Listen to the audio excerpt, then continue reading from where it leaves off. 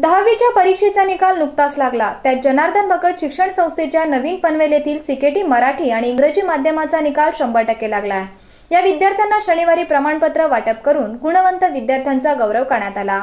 यावेळी संस्थेचे vice chairman Y T Deshmukh यांनी विद्यार्थ्यांचे कौतुक केले. भविष्यातही चांगले गुण मिळवून यशस्वी व्हा अशा शुभेच्छाही त्यांनी विद्यार्थ्यांना दिल्या. यावेळी संस्थेचे अध्यक्ष अरुण शेठ भगत यांच्यासह शिक्षक वृंद उपस्थित होते.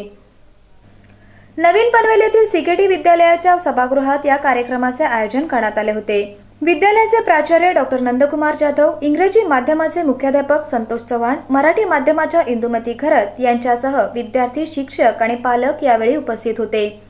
यावेळी मान्यवरांच्या हस्ते माध्यमिक शालांत परीक्षेत यश प्राप्त केलेल्या विद्यार्थ्यांना प्रमाणपत्रांचे वाटप करण्यात आले. तसेच गुणवंत विद्यार्थ्यांचा सत्कारही यावेळी करण्यात आला आहे. आपल्या शाळेने आपले कौतुक केल्यामुळे विद्यार्थ्यांचा आनंद द्विगुणित झाला होता.